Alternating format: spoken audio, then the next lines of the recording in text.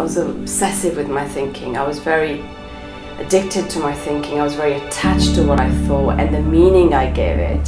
So to be able to be free from that, you know, it's like having weekends during the week. I used to worry a lot about sort of going to meetings and, and being with people I didn't know. I love networking meetings now. I love going there with no agenda. For me, that's huge. Absolutely huge. And it makes me smile. And it makes my heart burst open every time I start talking about it. It's joyous.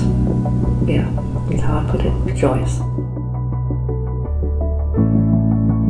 It allows you to just see, look, this is how we're creating the world.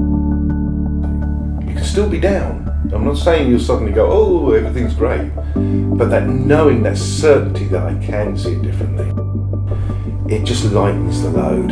It's the lightness of it that, that I really enjoy. You don't have to carry anything.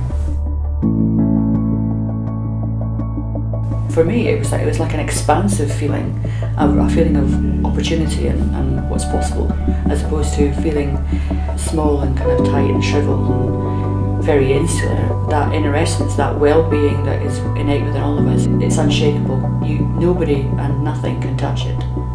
It's like having a, a very light room, but the windows are really big and the sun is just the sun is just pouring in, and there's nothing to do but to be in that moment and bask in it. You know, just really be there. And I, I remember just becoming very hopeful, not looking for hope, just that hope came to me.